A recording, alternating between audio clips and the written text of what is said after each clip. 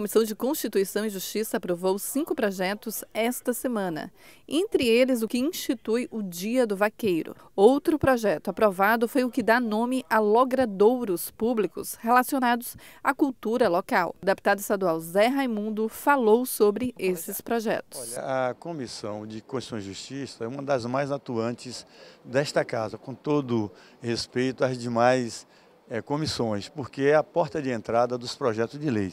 E hoje aqui nós tivemos alguns projetos aprovados.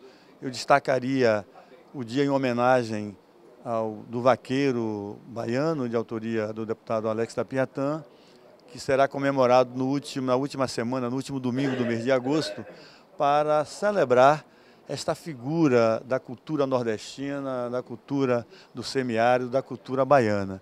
E também tivemos um projeto da nossa autoria, que procura normatizar é, as características dos logradouros públicos com os nomes. Ou seja, em geral, é, há, há, uma lei nacional que proíbe nome de pessoas vivas.